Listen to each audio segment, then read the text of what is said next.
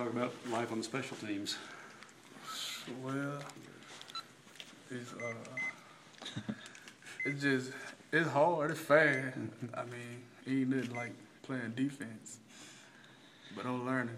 I I try to scheme up like the rest of the guys how to play special team, but when I get on the field, it like it goes faster than in practice. So I have to learn during the game and try to scheme something out. It's like the world just kind of focuses and all you say, oh, oh, the ball kicks, here I go. Yeah, I like my first couple kickoffs in, in the game. It seemed like they be my worst. But you get better as it goes on. Yeah, I, I get better throughout the game. How much different is this than high school?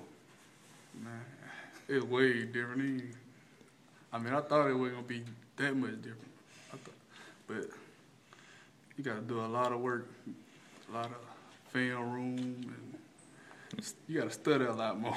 than high school, you ain't gonna go out there. You ain't gonna know what to do. Is it always adjustment because you're you're used to being bigger, faster than the guys you face in high school, and now there's guys your size and your speed out there.